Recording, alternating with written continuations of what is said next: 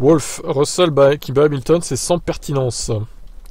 Une année particulière pour les Lewis. Si m'avait dit en début de saison que je finirais devant lui, bon, euh, ok, Russell on l'a vu. Cependant, Wolf, il ne courait pas pour un championnat du monde, ils n'ont pas couru pour des victoires à part le Brésil. Je pense pas que pour aucune des équipes, il importe qu'elles finissent deuxième, troisième, quatrième ou cinq. Lewis voit l'ensemble du tableau et c'est beaucoup sacrifié en début de saison. Plus de la moitié de la saison en fait pour trouver les réglages, comprendre le W13, aider les ingénieurs, tester des choses parfois dingues pour le développement. C'est normal que cette tâche lui revenait plus qu'à Georges, il a dix fois plus d'expérience, connaissait mais dix fois mieux l'équipe, les ingénieurs, nos méthodes.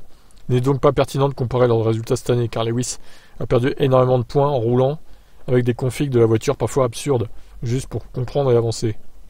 Il répète ce qu'il a dit à Abu Dhabi, et la défaite controversée pour le titre ont été beaucoup plus difficile à digérer. L'année dernière, c'était bien pire. L'année dernière, un titre nous a été volé, comme je l'ai dit, cette année. Nous l'avons perdu parce que nous ne le méritions pas. Nous n'étions simplement pas assez bons. Oui, là, clairement, il n'y a pas de souci. Hein. Personne ne conteste. Wolf admet que le principal problème est que Mercedes s'est trompé avec tout le nouveau règlement. Mais une défaite est absolument nécessaire pour relancer la motivation de l'équipe. Je ne suis pas sûr que tout, je ne suis pas sûr du tout que nous puissions rebondir au point de concourir pour le championnat l'année prochaine. Bon, ça, on l'a déjà vu, effectivement. Donc voilà, ça va calmer les ardeurs du jeune Russell euh, qui est en extase parce qu'il a fini devant Lewis. Bon, même s'il est conscient de ça aussi, hein, Russell, il n'est pas idiot. Hein. Je vous laisse commenter.